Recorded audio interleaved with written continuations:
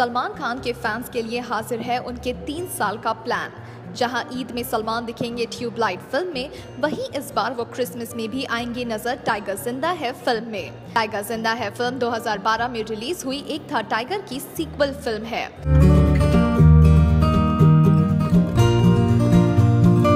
यानी 2017 में डबल धमाका। इतना ही नहीं, साल 2018 के लिए भी उन्होंने रेमो डिसूजा की मूवी के लिए हामी भर दी है। रेमो की मूवी में सलमान दिखेंगे तेरह साल की लड़की के पापा के रूप में। साथ ही अभी सलमान, अतुल और अलवीरा अग्निहोत्री के रोमांटिक फ़िल्म में काम कर रहे हैं, जो दिसंबर 2018 में रिलीज़ होने की आशंका है।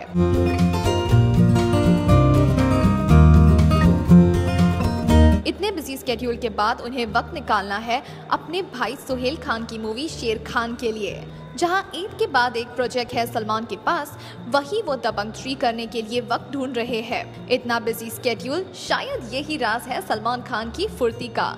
लगता है कि सलमान सबसे बिज़ी एक्टर्स हैं बॉलीवुड के। क्या आप भी यही सोचते हैं?